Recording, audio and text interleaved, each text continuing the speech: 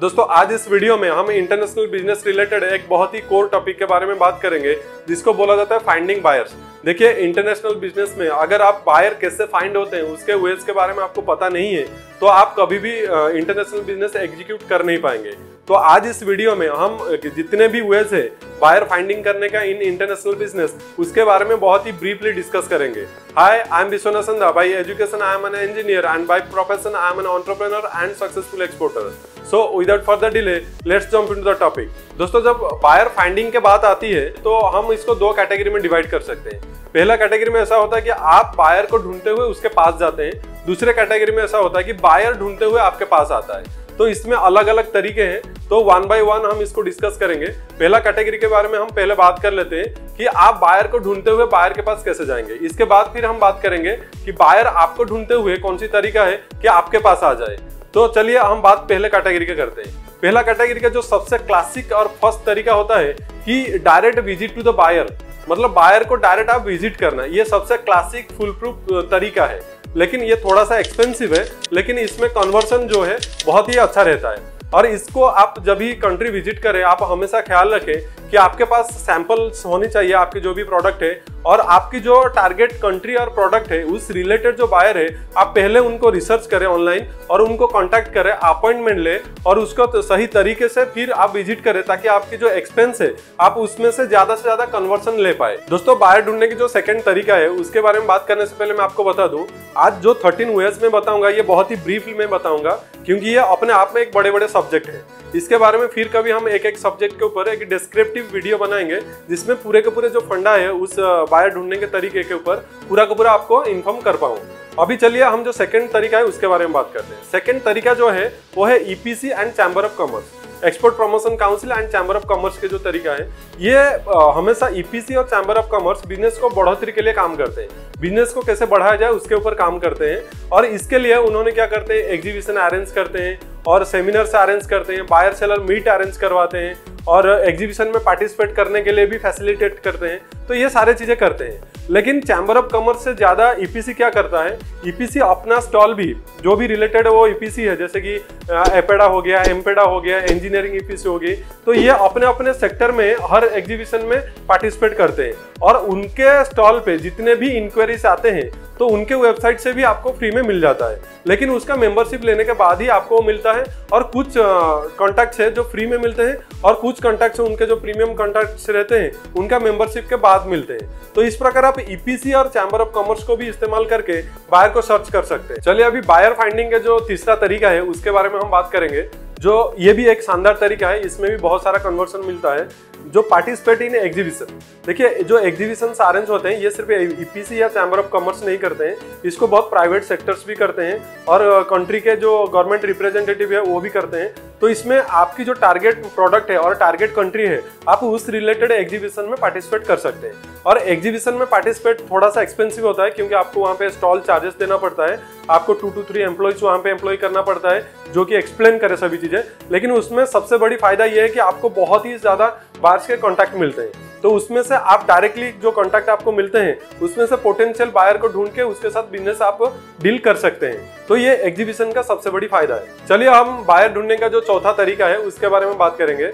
Trade fair directory देखिए, ये directory क्या होता है? जब भी आप समझ लीजिए किसी भी कारण से या फंड की कमी की वजह से आप एग्जीबिशन में पार्टिसिपेट नहीं कर पाए। तो क्या होता है, जो एग्जीबिशन के ऑर्गेनाइजर्स होते हैं, वो डाटा भी सेल करते हैं। वो डेटा किसका होता है? जो विजिटर्स होते हैं, उनके डेटा वो सेल करते हैं। तो इसमें इसको ट्रेड फेयर डायरेक्टरी बोला जाता है। तो इसमें जो ऑर्गेनाइजर्स होते हैं, आप उनको कांटेक्ट करके, ये थोड़ा मिनिमम मिनिमल एक पे करना पड़ता है। वो पे करके आप ट्रेड फेयर डायरेक्टरी ले सकते हैं। तो एग्जीबिशन में पार्टिसिपेट करना और ट्रेड फेयर डायरेक्टरी परचेज करने में क्या डिफरेंस है? देखिए, जब आप एग्जीबिशन में पार्टिसिपेट करते हैं तो आपका जो स्पेसिफिक कस्टमर आपके स्टॉल पे विज़िट करता है तो आपके लिए आसान हो जाता है कस्टमर को टारगेट करना। लेकिन जब आप ट्रेड फेयर डायरेक्टरी खरीदते हैं तो इसमें क्या होता है, जितने भी विजिटर्स उस फेयर में आए हुए हैं, उन सभी का डाटा रहता है। तो उनको सारे को ऑर्गेनाइज करना, फिर उसमें आइडेंटिफाई करना और टारगेट करना, थोड़ा सा मेहनत वाला काम रहता है, लेकिन थोड़ा सा इसमें पैसे कम लगते हैं। दोस्तों बायर फाइंडिंग में जो फिफ्थ तरीका आता है, वो इंडियन एम्बेसी के रोल आता है। इंडियन एम्बेसी के जो डाटा है, आप वहाँ से भी बायर फाइंड कर सकते हैं। तो ये पूरा का पूरा फ्री रहता है। इसमें आपको क्या करना होता है, आपके जो टारगेटेड प्रोडक्ट है और टारगेटेड जो कंट्री है, आप उधर इंडियन एम्बेसी को मेल कर सकते हैं और मेल करने के बाद इंडियन एम्बेसी के बाद उधर के जो इम्पोर्टर एक्सपोर्टर उनके डाटा होते हैं पूरा। तो इम्पोर्टर के जो डाटा है, वो इंडियन एम्बेसी आपको सेंड कर देता है। तो ये फ्री ऑफ़ कॉस्ट है, इसमें आपको कोई भी कॉस्ट पे नहीं करना पड़ता है। लेकिन बहुत सारे लोगों की ये क्वेरी आता है कि, सर, हम मेल तो करते हैं, लेकिन रिप्लाई नहीं आता है। देखिए, अगर इसमें आप गलत मेल आईडी पे मेल करेंगे, आपको नहीं मिलेगा। क्योंकि एम्बेसी के अंदर बहुत सारे डिपार्टमेंट्स होती हैं तो आपको जो मेल करना है वो कॉमर्स डिपार्टमेंट पे करना है। अगर आप कोई भी मेल आईडी पे मेल कर देंगे तो आपको रिप्लाई नहीं मिलेगा। तो आपका जो कॉमर्स विंग है, उसका मेल आईडी पे जब आप मेल करेंगे, आपको डेटा मिल जाएगा। और डेटा मिलने के बाद आप वहाँ से टारगेट कर सकते हैं, सेग्रीगेट कर सकते हैं और बायर को रीच कर सकते हैं। दोस्तों, बायर फाइंडिंग में जो सिक्स नंबर पे आता है that is paid buyers data देखिए, इसको पोर्ट डाटा भी बोला जाता है। ये जब भी चीज़ें पोर्ट से एक्सपोर्ट होता है तो इसमें जो डिटेल्स रहता है, वो बहुत सारे प्राइवेट कंपनी उसको सेल करते हैं, वो डेटा को सेल करते हैं। क्योंकि डेटा सेलिंग अपने आप में बहुत बड़ा बिज़नेस है। तो इसमें एक डिमेरिट है, इसमें आपको पैसे थोड़े कम लगते हैं। इसमें आपको H S code wise port wise और मंथ वाइज इसमें डेटा आपको परचेज करना होता है। और इसमें थोड़ा सा मिनिमम चार्जेस में आप डेटा परचेज कर सकते हैं। लेकिन इसका सबसे बड़ी डिमेरिट ऐसा है कि इसमें ईमेल आईडी फ़ोन नंबर ये सारे डिटेल नहीं रहते हैं। इसमें सिर्फ़ कंपनी का नाम कंट्री पोर्ट और मेटेरियल मेटेरियल जो है, उसका डिटेल्स रहता है। तो इसमें क्या करना होता है? जो कंट्री उसमें आपको जो पार्टी मिल गया कंट्री मिल गया, उसको लेके आप फिर जाके अदर जैसे कि लिंकड फेसबुक इंस्टाग्राम ये सारे चीज़ों में आपको सर्च करना रहता है और सर्च करने के बाद वहाँ से आप मेल आईडी निकाल सकते हैं। तो इसमें से डायरेक्ट मेल आईडी जो है, वो नहीं मिल पाता। इसका सबसे बड़ी डिमेरिट यही है। अभी बायर ढूँढने का जो सेवेंथ वेज के बारे में हम बात करेंगे, वो है इंटरनेशनल एजेंट देखिए इंटरनेशनल मार्केट में बहुत सारे एजेंट्स होते हैं जो बायर और सेलर ढूँढने में मदद करते हैं प्रोडक्ट वैलिडेट करने में मदद करते हैं ऑर्डर एग्जीक्यूशन में भी मदद करते हैं। ऐसे बहुत सारे एजेंट्स हैं, बहुत सारे जेन्यून एजेंट हैं। लेकिन जब भी आप ऐसे एजेंट को डील करते हैं अप्रोच करते हैं, उसका जेन्यूननेस वैलिडेट करना ये आपकी ज़िम्मेदारी है। क्योंकि मार्केट में बहुत सारे फ्रॉड भी हैं फ्रॉडस्टर भी हैं, आपके साथ फ्रॉड होने का चांसेस भी रहता है। जब आप ऑनलाइन सर्च करते हैं, उसके अलग अलग तरीके होते हैं, उसको पूरा वैलिडेट करिए और वैलिडेट करने के बाद ही किससे डील करिए। नहीं तो आपको उसके दिया हुआ बायर भी फ्रॉड निकलेगा और आप मतलब फंस सकते हैं। दोस्तों बायर फाइंडिंग में जो एट नंबर का वे है opening office in the target country यानी जो आपके टारगेट कंट्री है, वहाँ पे ऑफ़िस ओपन करना। देखिए, ये थोड़ा काफ़ी एक्सपेंसिव होता है, क्योंकि ऑफ़िस ओपनिंग में भी आपको बहुत सारे चार्जेस लगते हैं, और आपको वहाँ पे स्टाफ मेंटेन करना, ये सभी चीज़ों में आपको बहुत सारे एक्सपेंसेस लगते हैं। तो ये जो स्टार्टअप्स होते हैं, जो इनिशियल स्टेज पे हैं, ये उनके लिए कन्वीनियंट नहीं रहता है। लेकिन जो कंपनी ऑलरेडी एस्टाब्लिश्ड है, एक लेवल पे है तो उनके लिए ये बहुत ही इफ़ेक्टिव और कन्वीनियंट रहता है। क्योंकि इसमें जो होता है, आपके ऑफ़िस के माध्यम से आप इजीली चीज़ें डिलीवर करके बायर को डिलीवर कर सकते हैं और जो है, आपके बायर को फ्रीक्वेंटली मिल पाते हैं। तो आपका जो रिलेशन है सेलर एंड बायर के बीच में, वो बहुत ही स्ट्रांग होता जाता है। तो जिसमें बिज़नेस कन्वर्सन है, वो बहुत ही ज़्यादा होता है। दोस्तों बायर ढूँढने का जो नाइन्थ नंबर का वे है, वो फ्रेंड्स एंड फैमिली है। ये बिल्कुल भी एक्सपेंसिव नहीं है, इसमें कोई पैसे नहीं लगते हैं। लेकिन आपके जो टारगेट कंट्री में जो भी आपका फ्रेंड्स एंड फैमिलीज़ रहते हैं, उनको आप कन्विंस कर सकते हैं, उसको आप पार्टनरशिप पे भी ले सकते हैं, या आप कन्विंस करके आपके काम जो है बायर को मीट करवाना सैंपल भेजवाना, ये सभी आप फ्री में करवा सकते हैं। और बायर के डेटा निकलना, ये सभी आपको फ्री में करके दे सकते हैं। अगर वो इंटरेस्टेड है, उनको आप काम पे लगा सकते हैं। दोस्तों, अभी तक जो नौ प्रकार की तरीके मैंने बायर फाइंडिंग्स के बताए, इसके माध्यम से आप बायर फाइंडिंग करके, आप बायर को रीच करना रहता है।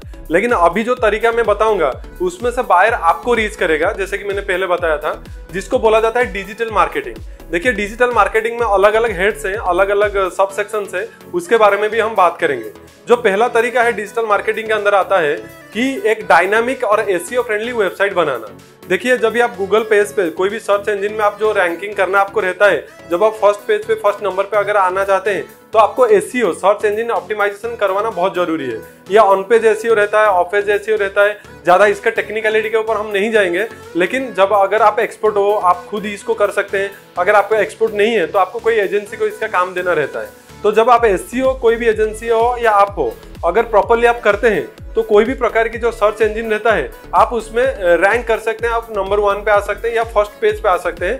तो जब आप फ़र्स्ट पेज पे आते हैं तो आपको जो बायर मिलने का जो चांसेस है बायर आपको रीच करने का जो चांसेस है, वो काफ़ी हद तक बढ़ जाता है। दोस्तों डिजिटल मार्केटिंग के अंडर जो सेकंड वे आता है that is social media marketing होती है। और बोला जाए तो टोटल वर्ल्ड ओवर तेरह से चौदह सोशल मीडिया प्लेटफॉर्म्स हैं। लेकिन मैं आपको हमेशा यही बोलूँगा, जो मेन तीन से चार सोशल मीडिया प्लेटफॉर्म्स हैं, जो ट्रेंडिंग में है, जो ज़्यादा यूज़ होते हैं, और आपके जो टारगेट कंट्री में वो ज़्यादा यूज़ होता है, आप उसमें ही ज़्यादा फोकस करें। जैसे कि Facebook Instagram LinkedIn YouTube Google इस पर भी आप ज़्यादा फोकस करें और क्योंकि यही ज़्यादा ट्रेंडिंग में रहते हैं और इसमें आप दो प्रकार के कर सकते हैं। आप जो अपने पोस्ट है, जो पेजेस है, आप फ्री में खुद मेंटेन कर सकते हैं। इसके अलावा अगर आप रैंकिंग करना चाहते हैं तो आप एड रन कर सकते हैं। जो एड रन करना होता है, जैसे गूगल पे हो गया या फेसबुक इंस्टाग्राम पे हो गया तो इसका जो एड रनिंग के जो चार्जेस है, ये अलग रहता है। अगर आप खुद करते हो तो सिर्फ़ और सिर्फ़ जो एड रनिंग का चार्जेस है, आपको उतना पे करना रहता है।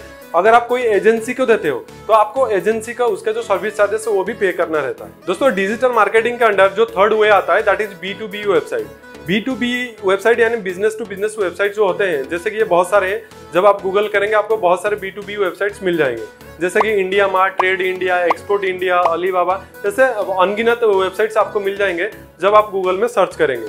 तो इसमें आपके प्रोडक्ट को आपको लिस्ट करना रहता है और आपके जो कंपनी है, उसका अवेलेबिलिटी दिखाना होता है। तो जब आप दिखाते हैं तो आपको बायर इजीली फाइंड कर पाता है। और आपके ये ध्यान रखना है, आपके जो टारगेट कंट्री है, वहाँ पे जो बी टू बी वेबसाइट के ज़्यादा यूज़ होता है उधर ही आपको लिस्ट करवाना, आपको ज़्यादा ही हेल्प करेगा आपके बायर्स को फाइंड करने में और बायर आपको रीच करने में ये ज़्यादा हेल्प करेगा। देखिए, इसमें दो तरीके हैं, आप फ्री में तो आपके प्रोडक्ट लिस्ट कर सकते हैं फ्री में जब आप लिस्ट करेंगे, फिर बी टू बी वेबसाइट वाले जो हैं, आपको कन्विंस करेंगे कि उनका जो पेड पैकेज है वो लेना लेकिन पेड पैकेज लेने से पहले आप प्रॉपरली एनालिसिस करें कि किसका कन्वर्सन कितना है और आप जो पे कर रहे हैं, उसका कितना रिटर्न आपको मिल पाएगा। तो ये सारे कैलकुलेट करके आप उनका पेड मेंबरशिप भी ले सकते हैं। दोस्तों, आज इस वीडियो में मैं आपको टोटल 13 वेज बताया जिसमें आप बायर फाइंडिंग कर सकते हैं इंटरनेशनल बिज़नेस में। पहला जो नौ तरीके था, उसमें आप खुद बायर को फाइंड करते हुए उसके पास पहुँचते हो और दूसरा जो चार तरीके मैंने बताया, जो डिजिटल मार्केटिंग के अंडर आता है, जब उसमें आप प्रॉपरली काम करते हैं तो बायर ढूंढते हुए आपके पास आता है, आपको बायर के पास जाना नहीं पड़ता है। तो टोटल इस प्रकार 13 वेज मैंने आपको बताया, जिसमें आप बायर फाइंडिंग कर सकते हैं और इंटरनेशनल बिज़नेस में आप सक्सेस हो सकते हैं। अगर इसमें से आपको कौन सा जो वे है जो आपको बेस्ट लगा, आप कमेंट में मुझे बता सकते हैं और इसमें से अगर आपको हेल्प मिला हो और आपको इन्फॉर्मेशन कुछ मिला हो तो आप इसको लाइक शेयर और सब्सक्राइब कर सकते हैं और सब्सक्राइब करने के बाद जो बेल आइकन है, उसको भी प्रेस कर दें ताकि जो अपकमिंग इन्फॉर्मेटिव वीडियोस है, उसका नोटिफिकेशन आप तक इजीली पहुँच पाए। Thank you very much for watching this video